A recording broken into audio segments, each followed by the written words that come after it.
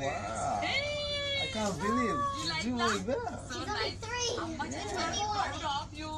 How old are you? Sitara? Four years old?